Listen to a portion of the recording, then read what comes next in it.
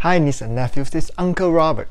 What a volatile week we had in Bitcoin. It went up 25% in a week and then down 12% in two days. I just shared this risk last weekend, check this out. There might be potential corrections for Bitcoin in the future, probably sparked by government regulation. And that's exactly what happened.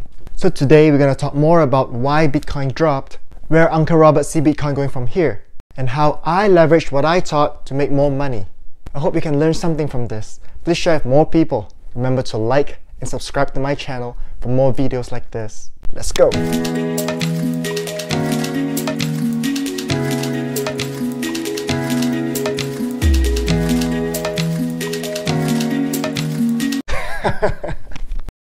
India has been known to ban a lot of things. They banned a bunch of apps from China. Usually overturns that ban 18 months later.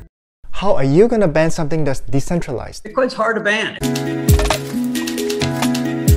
What India could be missing out on is a potential e-commerce boom from Bitcoin, as well as cross-border, instantaneous, low-cost transaction. And so India is kind of stepping away from the future. With that said, Uncle Robert do not think more countries gonna follow suit. For now, I see Bitcoin gaining broad-based acceptance. That is a game changer. So for me, Bitcoin is a safer way to play. There might be potential corrections for Bitcoin in the future, probably sparked by government regulation. But with the broad-based adoption, I'm pretty sure it's gonna come back.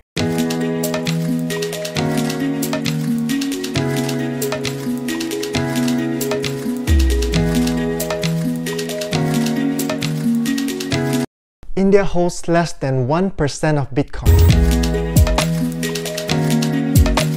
It's even less than what Tesla has. If mining is banned in India, would the remaining miners gain?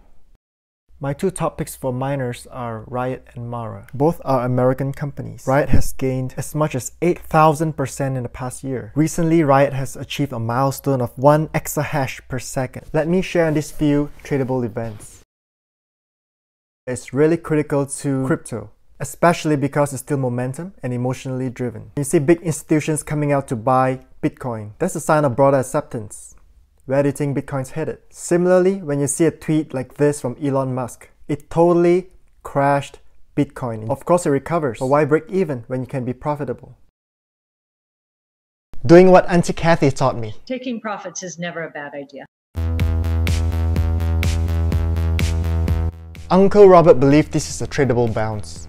If it keeps dipping, I'll keep buying. This is Black Friday sale. Also as shown in my last video, the potential price of Bitcoin could be as much as half a million dollars. Hopefully in our lifetimes. Uncle Robert's very bullish on Bitcoin. There's limited supply and right now there's widespread adoption. But not coming from me, let's see where all these genius thinks Bitcoin will be. We have people at JP Morgan predicting that Bitcoin will be 146,000 in time to come. Fundstrat's Tom Lee, who has made every right prediction about COVID plays, reopening plays, the timing, S&P levels, is so bullish on Bitcoin that he says Bitcoin will reach 116,000 this year. Of course, we have the very popular Auntie Cathie and ARK Invest thinking that Bitcoin could one day reach 500,000. Disclaimer, this is not investment advice, this is Uncle Robert's opinion. Please get as many opinions as you can and make your own assessment.